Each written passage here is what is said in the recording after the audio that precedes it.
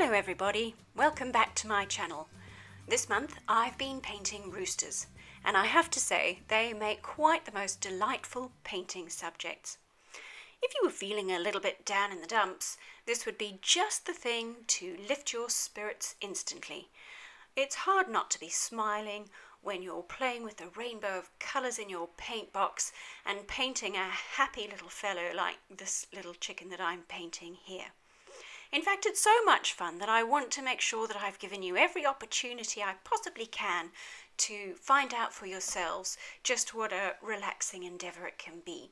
So I put together a little painting project that you could do with me if you wanted to, and I'll tell you a little bit more about that at the end and give you the links in the description box if you want to paint along with me. The inspiration for this particular painting that I'm doing now came from a photo that one of my lovely Instagram friends sent me. When she saw that I was painting roosters this month, she sent me a whole lot of photos of her own chickens and they're absolutely delightful as you'll see I'm sure when uh, this little guy is finished. Aren't people so lovely? Very generous of her to, to send me these photos. And her and I both agreed that this chap with his lovely speckles on his chest is quite delightful and made for perfect inspiration. These birds have been a wonderful chance to play with colour this month.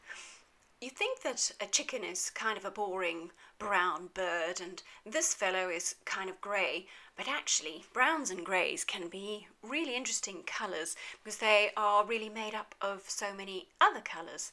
And as you can see from the grey speckles that I have put in this bird here, any chance I can, I sneak in a bit of purple. So my greys often tend to be uh, rather purpley. And I think that's that's part of the fun. You know, you can play around with the colours you see, uh, and you can add in colours that aren't there, colours that you see, or colours that you wish you saw there. Um, and I love the way those gold uh, and browns sit against the greys and blues. You come up with so many colour combinations. Sometimes I, I start with the, the colour combinations first, playing with the paints in my paint box until I find the ones that I think will go together well. And other times you can just begin painting and see where the mood takes you, and you come across a colour combination that you love in the process of painting. It's kind of a discovery, and how fun is that? And I, I always think that it's a good idea to give your subject something to stand on. So I've splashed in a bit more of that purple grey. It's Moonglow by Daniel Smith, if you're wondering, I think. Uh, because that area underneath him makes him seem grounded uh, rather than being floating around uh, in the air somewhere. So now that he's got a place to stand, I'm kind of looking around and seeing whether I want to add anything else. And he's so lively and energetic that I just can't quite resist uh, adding something else. And the little something else that I add is one of those things that some people love and some people hate.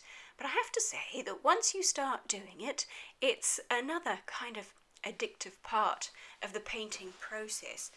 Can you guess what it is? I'm going to show you in a minute, just after I finish his eye. See, that's quite important. If I had been impatient and put in his eye while that was still damp, his eye would be way too big. Oh, there it was. It's that splattering. That's what I mean. I love the splattering because it gives you the feeling of the energy of the bird. Some people hate it, but I love the way it finished it off. Hope you join me painting roosters. See you next time.